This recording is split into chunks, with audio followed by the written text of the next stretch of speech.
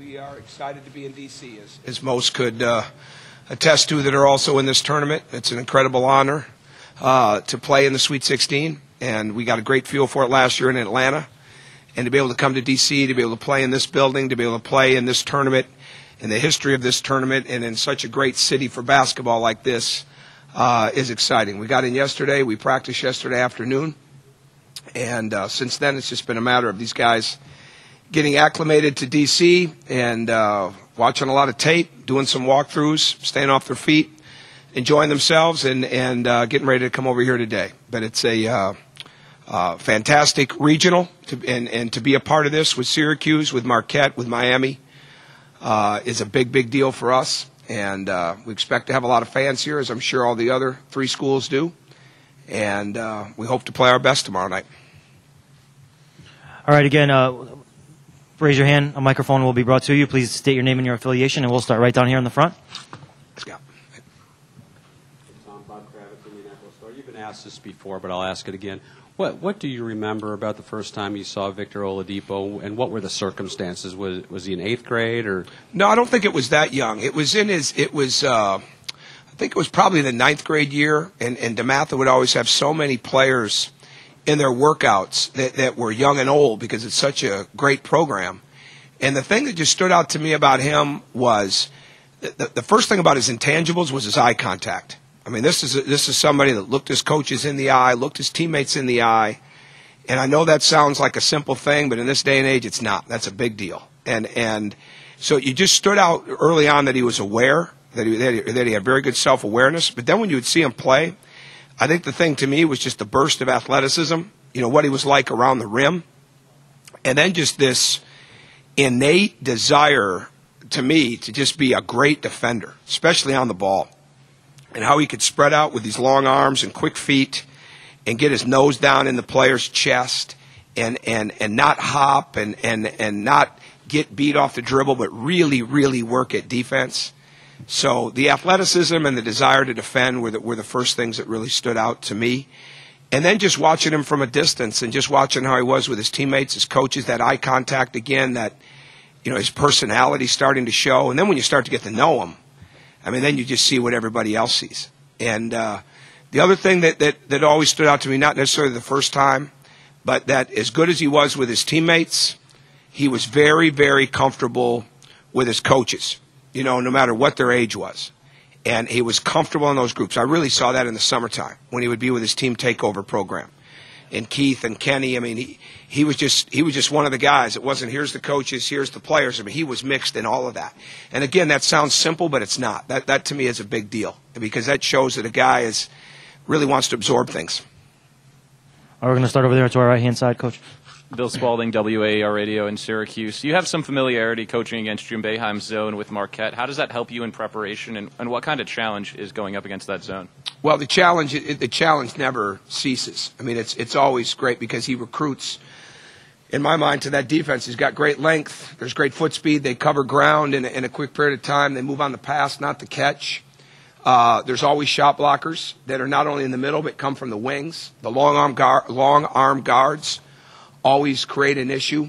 Uh, at Marquette, we didn't necessarily have the ability to score in the low post that, that, that maybe we have now. So it was a little bit different attack.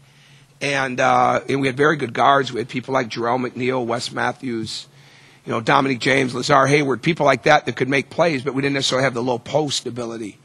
So it, it, it allows you to be a little bit more creative when you have that. I, I don't think you can look at that zone and think you're going to beat it any one way. But I also know that you can't look at that zone and think that you're going to stand around and pass the ball on the perimeter either. That is a recipe for defeat. And so we've got to be really, we've got to be really solid with what we do. We've got to be assertive and aggressive, and we've got to have uh, uh, a lot of ability to adjust and change against it. Coach we'll go right down here in the front, and then we'll go to the middle row. Uh, Coach Ken Bikoff, Inside Indiana. I know that you guys have played a lot of different styles this year. Does Syracuse remind you of any team, or parts of Syracuse remind you of other teams that you've played? Not really. Not really. The, the, the one team that plays uh, a very good zone in our league would be Northwestern. And, and the, the reference points we've given, there's always certain characteristics of certain players that you try to reference with them this time of year. the thing they do on offense uh, that they get, in my mind, very little credit for is how well they screen. And there's an area where, like Northwestern's guards and forwards, are as good as screeners as there are in our league, I think. But there's really nobody we've played, nobody that these kids have played that you can look at and say, yeah, we went through 40 minutes of this. There's not. And, and, uh, but that's the beauty of the tournament. In the middle to hoops. Hey, Tom, how are you? Good. Uh, difference philosophically between your league and the Big East. Did, was, was there a philosophical change when you came to the. Not for me. Not for me. We, we, we knew what, what we liked doing in the Big East and, and the kind of players that we like to recruit, the versatility, the athleticism. I think, if anything, you know, we've tried to really put even more of a premium on shooting uh, in the Big Ten. But, but none of us ever came in with a mindset that we're just going to recruit to the standard prototype uh, Big Ten team because that's that that wasn't relevant for us at the beginning.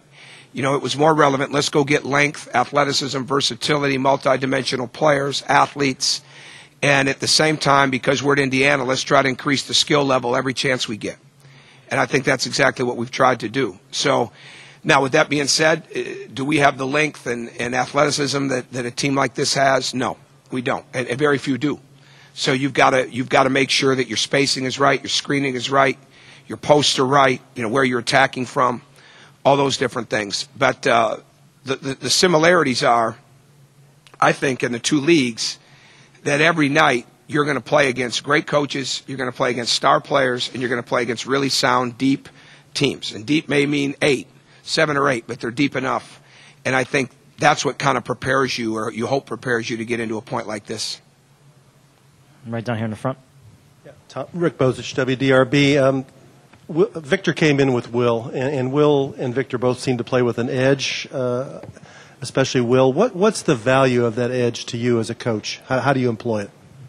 it's like having an extra player on the floor because because when you get when when you get entitled and out- enabled uh, type of guys, they're not going to go the extra mile. They'll they'll get by for a while on talent and they'll get things done for you, but but they're not going to win big for you. I mean, there's got to be intangibles and the edge. You know, all those things I talk about. You know, the, to me that are big: the eye contact, the awareness, the absorbing. All those things are really huge, but you've got to have you know, for lack of a better phrase, you've got to have a real chip on your shoulder, and and uh, there's nothing wrong with that. that, that that's that, that, that there, there's there's many a great player uh, that have made many a great team that started out with that chip. The ones that lost it didn't stay great. The ones that built on it, you know, end up legendary. And and it's no different in college. I mean, you've got to have that. And I think Victor and Will have that because it was never about just what they did when everybody was looking or when everybody had to be there. It was always about what they did when nobody was looking or when nobody had to be there. It's the extra work. And Jordan Hulls came in the same way. That's why he's the all-time leader in games played at this point or tied for it at this point, whatever it is. I mean, it's, and I don't know if anybody would have seen that coming four years ago. And, but there's nothing wrong with having that edge as long as it's channeled the right way. And every once in a while, will it, will it get overstepped? Yeah. But you know what? So what? You've got to have guys that, that, that, that they're not afraid of the big moments because they practiced and prepared for those. And they know that, that, that nothing's handed to them, that they've had to earn it. And I think that's what we always are going to try to recruit in Indiana. Stay in the middle to Bill. Hey, Tom. Hi, Bill. Hey, uh, Bill Rogers, New York Times. What, as you talk to your uh, your brother-in-laws about you, you seem to re- you're really into motivation and things like icons and all that. When you guys talk, what seems to be the difference between dealing with young men at, at this level and then dealing with guys at the next level? Is there a dramatic difference in the coach-player relationship between this level and that level? You know what? That's a great question that I don't think there's a huge difference. I think for two reasons. Number one, their league continues to get younger.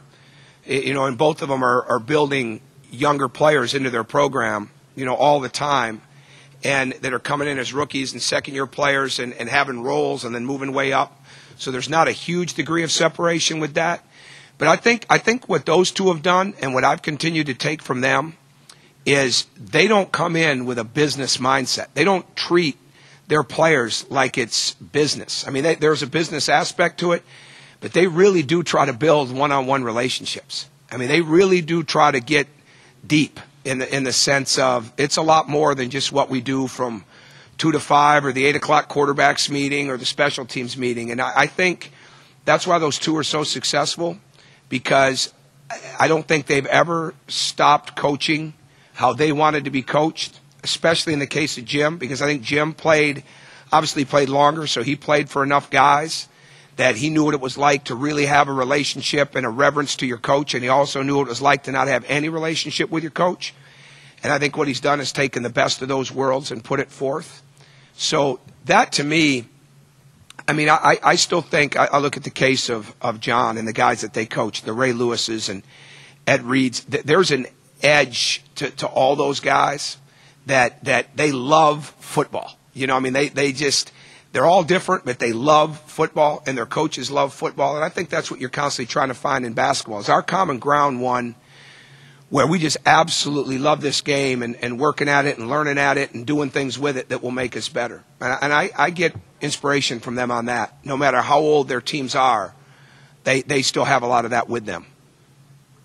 I think we got time for two more. We'll still one right down here, and then we'll go in the middle. Ken Bikoff, Inside Indiana. Coach, the kids on these, this team from 10 wins to 12 wins to the Sweet 16 to outright champs this year, how has each one of those things prepared them for this moment? Mm, I don't know. It's a great question. I, I think it's all it's just a greater understanding all the time. You know, obviously you go through different experiences, and it, it's it's how you feel from it. I mean, last year the Sweet 16 loss, it, you know, while while common wisdom on the outside was saying you they're going to be really good. They they attacked Kentucky. They scored 90 points. They got all these guys coming back. Our guys went to work like it wasn't close to good enough. I think there's a big difference there. I think two years ago, or if we didn't have a, if they didn't have a real desire to be successful, we wouldn't have had the spring and summer that we had. We had as good a spring and summer as I've ever been. A, one of the two uh, two best I've ever been a part of as a coach. Going back to a year at Marquette, but there's a real, real hunger. And no matter how young they were, no matter how old they were, there was a hunger that they could have done more.